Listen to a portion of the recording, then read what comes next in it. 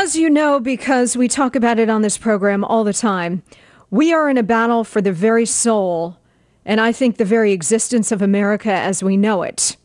And if we're going to have any chance of saving her, not only do we have to defeat Barack Obama and every Democrat we see, but we also have to elect true conservatives to every office in front of us in November.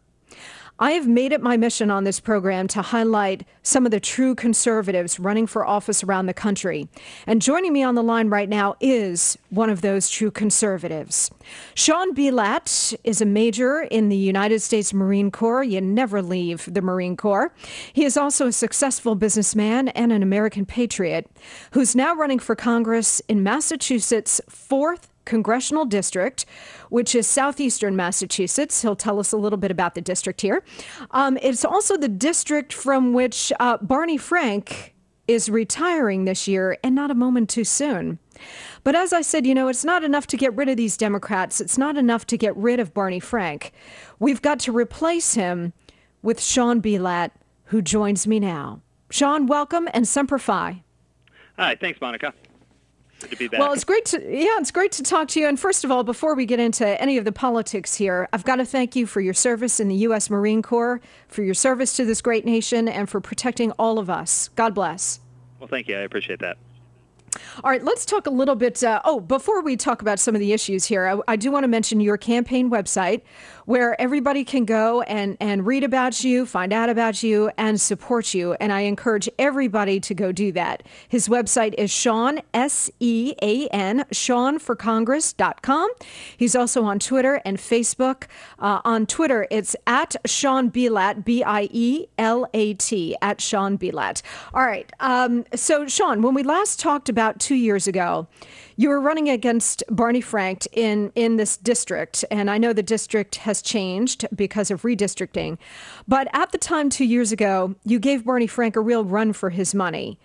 Uh, in fact, so much so that a lot of people say that as a result of that tight race and redistricting, um, which would would have made uh, his odds even longer here uh, this year against you. Barney Frank decided to retire rather than run again. Do you agree with that? Do you agree that because you were so aggressive and really gave him a run last time, that he decided this time, eh, I don't think I'm going to run? Well, I think he didn't want to work for the job. Uh, he's been there for about 30 years. He's no longer chairman of the of the uh, House Financial Services Committee, and I think he didn't want to work for it again. Uh, there hasn't been enough competition in Massachusetts in decades, so a lot of these uh, senior congressmen they've never really had to fight for their jobs before, and I think it's a really healthy thing that that's starting to happen. What did you learn from the last race two years ago that you're bringing to this one? Well, it was a great opportunity to get out and talk to people around the district and find out more about what they're looking for, what their issues are. And, and one of the things I learned um, is that Massachusetts has a reputation as a very liberal state. And I agree that it's a very democratic state, but it's a lot more conservative than people think it is. The middle class people in Massachusetts hold a lot of the same values that I do, hold a lot of the same values that many Republicans do, and I think we're going to start winning some of those votes. We're talking to Sean Bielat. He's Republican, uh, running in Massachusetts' 4th Congressional District. This is uh, the soon to be former Barney Frank District, and everybody should go and, and check Sean out and support him. Um, Sean, this time around, you know, we mentioned last time, two years ago, you were running against Barney Frank, a big liberal lion of the Democrat Party and a really big name. Um, this time around, you're, you're running against uh, somebody with the last name Kennedy.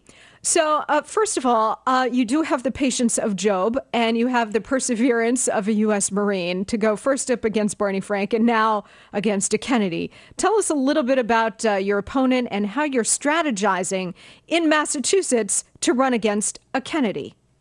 Well, besides his last name, I don't actually know much about uh, Joe Kennedy III, um, and neither do most people here in Massachusetts. Uh, he's a younger guy, hasn't really uh, done much. And uh, so he's basically running on his name. And people responded to that in a couple of ways. One, there's the, the core Kennedy supporters who probably are going to vote Democratic no matter what. They're excited about it. And then there's the rest of us who think, you know what, this is America. Uh, seats, congressional seats shouldn't just be passed uh, by a single family from one generation to the next. Um, it should be a contest about ideas and between candidates. Do you find as you go around the district, Sean, that people are responding to that, that people have sort of had enough of dynasties? And, and I don't care whether they're Republican or Democrat dynasties, but, you know, it's sort of enough already that there's a sense of entitlement, especially with the Kennedys, that, you know, generation after generation, there are waves of Kennedys that just sort of come up and, and decide, well, this is where I want to stake my claim, this district or this state, and I'm going to go for it and I'm going to win. Um, do you find in talking to people in that district that they're not really they're not all that into it and that they want to judge the candidates based on where they stand and what they believe and what they will do?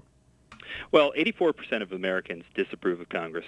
Uh, the president has a higher disapproval rating than approval rating.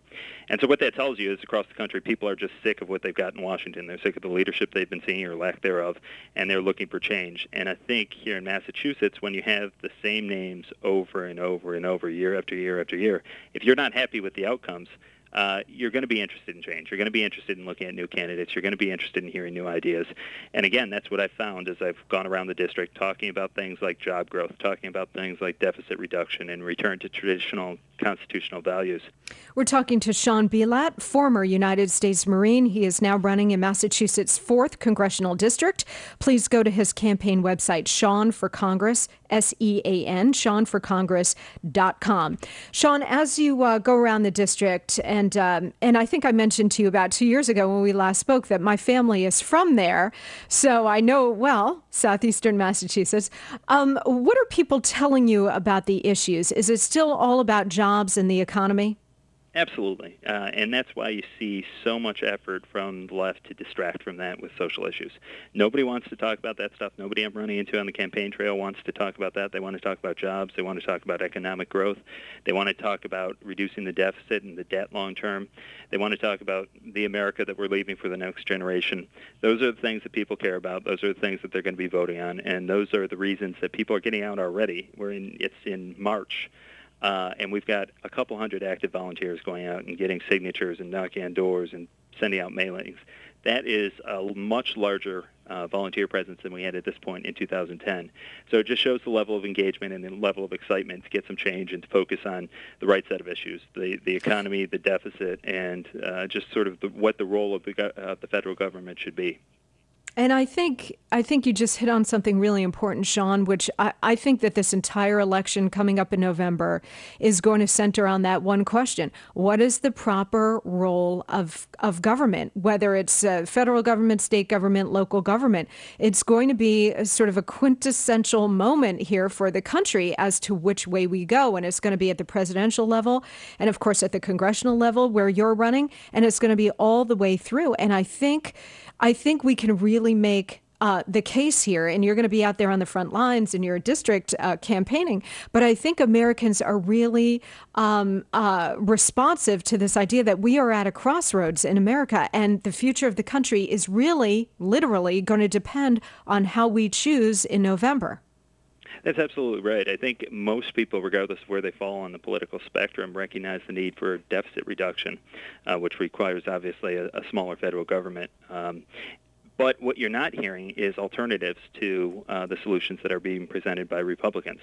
And until you hear those solutions, I think Americans are going to continue to turn our direction to, to listen to what we have to say, uh, to do agree, disagree a little bit, but have the debate about how we shrink the government, how we uh, reduce our dependency on the federal government and increase local and state uh, uh, control authority over over issues that we interact with more uh, frequently and on which we can d- directly impact policy.